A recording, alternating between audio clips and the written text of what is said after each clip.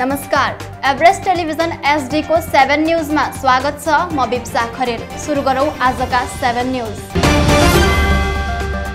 प्रदेश नम्बर एकका मुख्यमन्त्री शेरधन राय विरुद्ध अविश्वासको प्रस्ताव दर्ता।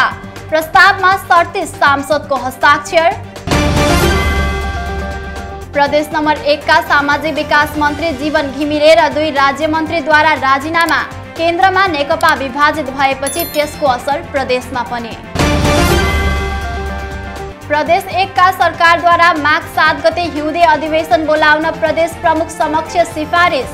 अधिवेशन आह्वान र अन्त्य प्रदेश सरकारको सिफारिसमा प्रदेश प्रमुखले गर्ने व्यवस्था।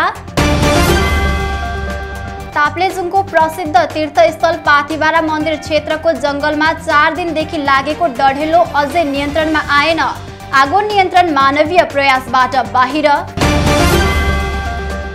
प्रतिनिधि सभाको निर्वाचनमा यसपटक निर्वाचन खर्च बढ्ने निर्वाचन आयोगको प्रक्षेपण। निर्वाचनका लागि आवश्यक बजेट तयार पार्न गृह कार्य चल्दै।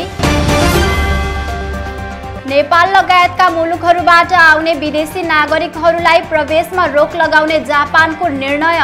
यो प्रतिबन्ध जनवरीको अन्तिमसम्म कायम रहने।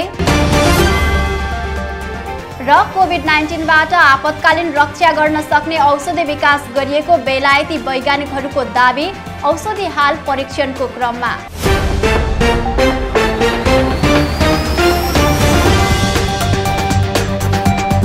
हस्त आजको सेभेन न्युज यति नै। भोलि थप अपडेटका साथ उपस्थित हुने नै छौँ। हाम्रा सम्पूर्ण सोसियल मिडियालाई फलो गर्दै गर्नुहोला। नमस्कार।